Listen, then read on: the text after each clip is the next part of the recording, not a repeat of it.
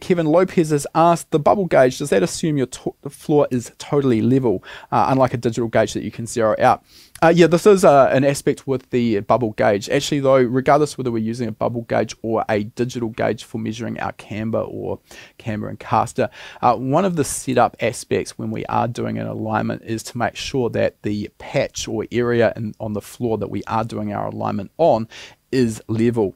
Uh, you'd be quite surprised a, a, lot of workshop floors that you'd think would be level you actually find that there is quite a bit of runoff on the floor and that can end up skewing your camber readings in particular so Within the course, uh, we teach you how to check your setup patch area and how to level it if it is out of level. The way we do that is simply with a piece of aluminium extrusion uh, that is at least the as, as, wide as the track width of the car.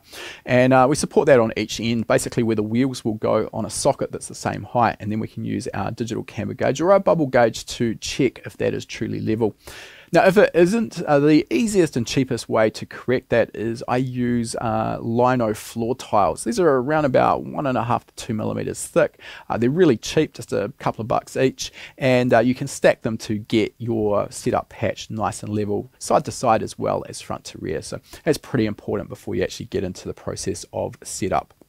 That question was taken from one of our free live lessons.